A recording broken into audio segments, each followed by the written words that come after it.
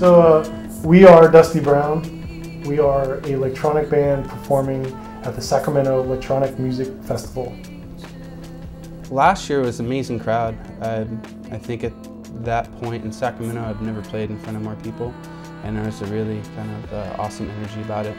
You have the whole gamut of the electronic music genre um, that's going to be participating in the festival over the three days.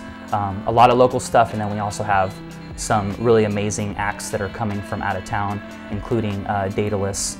And then we have a group called Bomb J. And then Tycho is from uh, San Francisco, has a lot of uh, Sacramento roots. Yeah, I mean, it's just a really cool, really cool vibe. It felt like a community coming together. You, you see a lot of people that weren't really part of like the, just to go out and get drunk and go see shows scene. It's more like people coming out to see music.